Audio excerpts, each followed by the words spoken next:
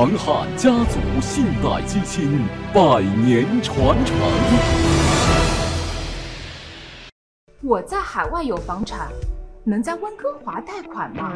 能。金鼎海外贷用海外房产贷出加币现金。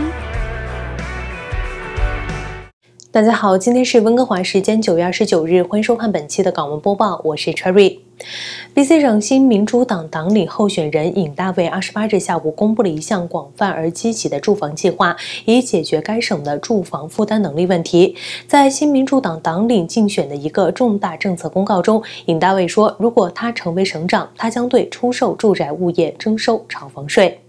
尹大卫表示，持有房产时间短，炒房税率越高，两年后逐步取消，达到一定的持有时间，税率就会降至零。因死亡、失业、离婚或残疾等原因可以申请豁免，建筑商也将获得豁免，以鼓励住房建设。在该政策实施之前发布通知，以允许人们出售他们的投资物业，并增加市场上的住房供应。尹大卫从2020年起担任 BC 省住房部长，直到他辞职以竞选党领。目前。尹大卫还是唯一的候选人。该计划还要求在省级层面进行改变，要求主要城市中心区域的房屋建筑商被允许在同一占地面积上用最多三个单元取代单户住宅。这些房屋必须符合现有的缩进距离和高度限制。另外，符合 BC 省建筑规范的二级套房将在全省范围内合法化。市政审批程序改革也将与市政当局合作紧急实施。住房应该首先为人们提供住房，而不是为投资者。提供利润，尹大卫说：“我们已经通过对投机征税和建造数千套新房取得了进展，但在整个省内，我认为迫切需要采取更多的措施来降低住房成本。为了建造住房，尹大卫提出了一项名为。” BC Builds 的新计划利用合作伙伴关系、该省的法律权利、融资能力和公共土地，以加快在农村、城镇的和城市建设可负担中产阶级住房。BC Builds 将特别关注原住民住房，包括保护区内和非保护区。尹大卫还将建立一个新的租赁住房收购基金，部署五亿元的资本支持，以与原住民、非营利组织和合作社合作，购买和保护有风险的经济适用房。并阻止投资者的投机行为，这将与打击投机者的新工具相结合，在犯罪所得收入流入房地产时扣押黑钱，堵住漏洞，并通过新的炒房税冻结短期盈利。银大卫住房计划的其他部分还包括省级住房许可将是一站式和简化的，对出租的分层限制将被取消，部分房产的十九岁以上年龄限制将被取消，这样年轻家庭有了孩子就不用搬走，仅限老年人的分层限制。将继续存在，以确保老年人有无障碍的退休社区。市政当局的住房需求计划将用于制定住房交付的最低标准。短期租赁公司将被要求向城市和地区提供有关其社区内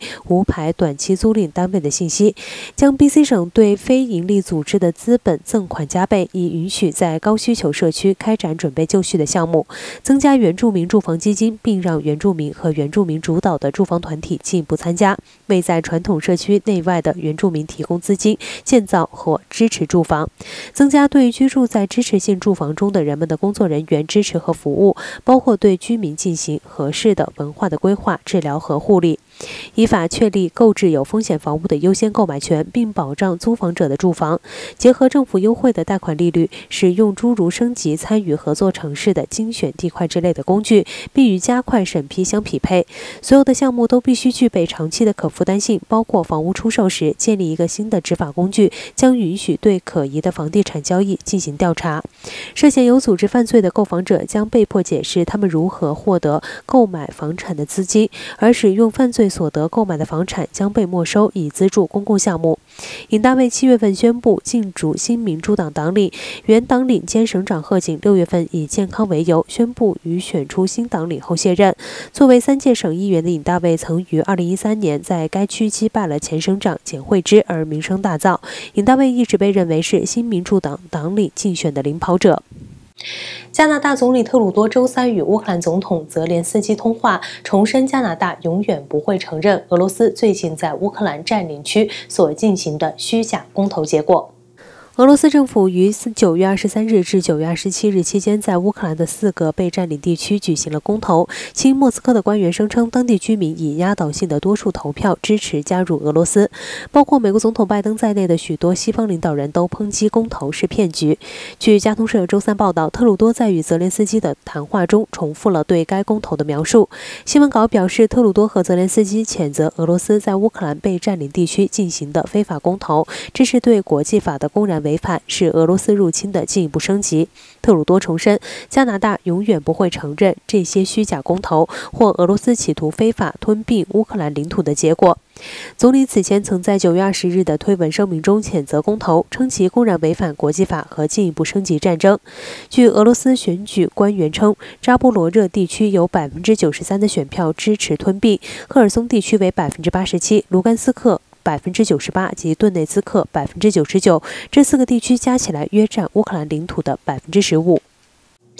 我们新一期的时光故事节目已经播出了。这一期我们说的是在二十多年前发生在欧洲著名的勃朗峰上的一场悲剧：一辆大卡车在长达十一公里的隧道起火，隧道瞬间变成炼狱，车辆不能进退。一千多度的高温烘烤了整个隧道，长达五十三小时，三十九人在这场悲剧中不幸丧生。这期视频的链接就在下方，欢迎大家前往观看。好了，让我们来接着看下一条新闻。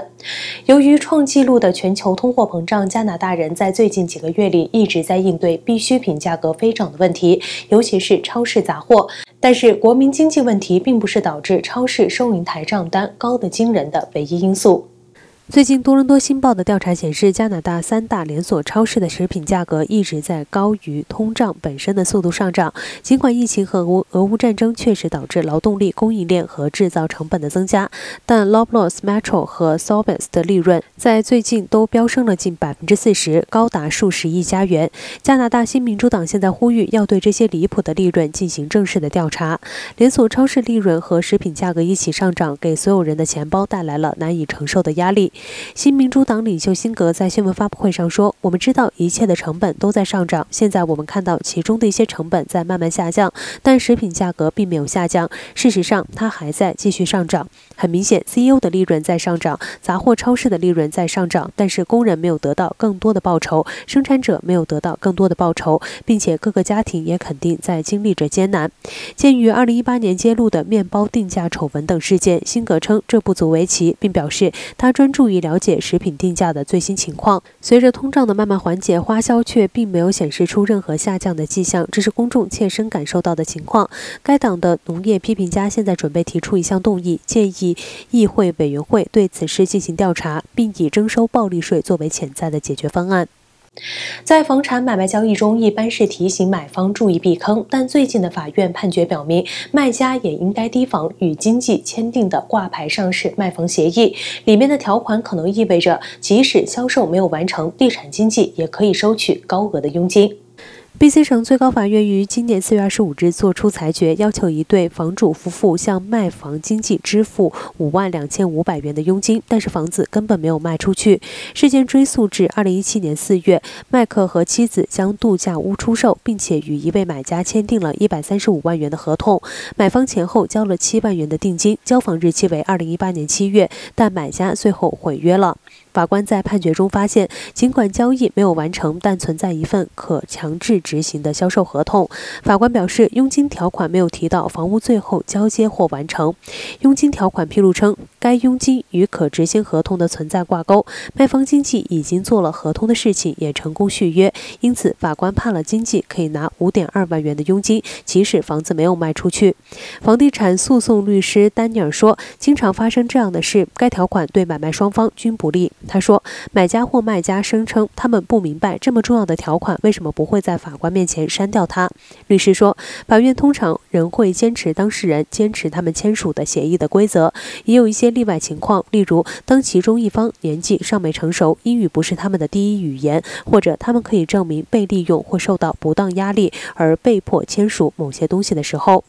根据 Remax Realty West 地产经纪兼律师 Brian 的说法，他经常被要求作为房地产合同纠纷的专家证人。标准表格甚至没有说必须接受或成功完成销售才能获得所欠的佣金。标准合同上面只写着，在上市期间，根据本协议规定的条款和条件，或卖方可能接受的其他条款和条件，对于从任何来源获得购买该物业的任何有效报价。如果不清楚，他会继续写道：卖方进一步同意支付计算得出的佣金，即使卖方或代表卖方的任何人同意或接受的购买协议所设想的交易未完成。如果此类未完成是由于或归因于卖方的违约或疏忽。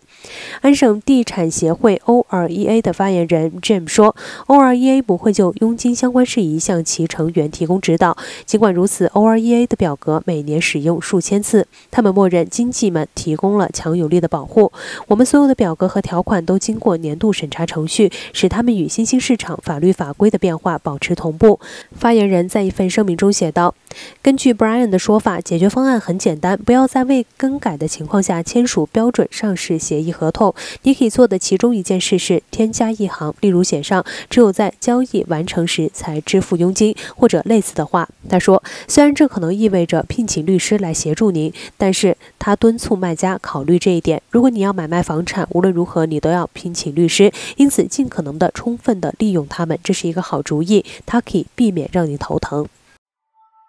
千呼万唤，温哥华港湾终于为广大粤语观众朋友们增设粤语新频道。大家好，欢迎收睇今期嘅港湾报报，我系 Serena。用粤语陪你及时追踪大温新闻热点，一起关注世界大小事。星期二到星期六，粤语新闻定时放送。温哥华港湾粤语台和你阅读关心大温与世界。粤语新频道的链接就在下方，欢迎大家前往观看和订阅。好了，以上是本期港文播报的全部内容，感谢大家的收看，我是 Cherry。如果你喜欢我们的节目，欢迎您点赞和转发我们的视频，我们下期节目再会。